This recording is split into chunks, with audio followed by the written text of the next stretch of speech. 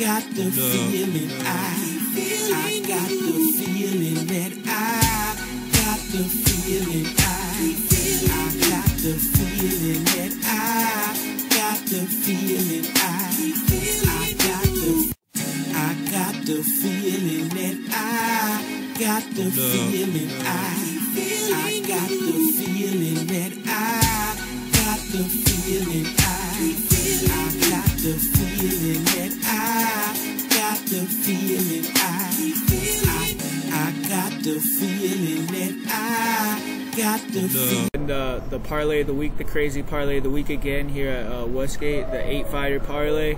And uh, this week it's for a decent card. It's the card uh, tomorrow for the flyweight title, Deiveson Figueiredo versus Joseph Benavidez 2.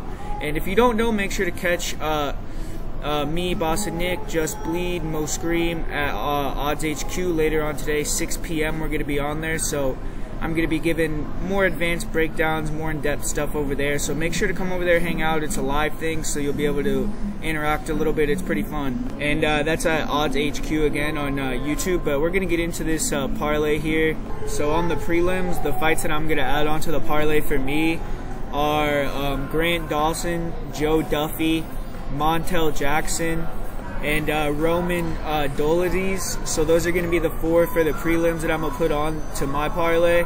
And then here we go with the main card. So the main card, I'm going to use uh, Luana Carolina, Jack Hermansson, Alexandre Pantoja, and Deiveson Figueiredo.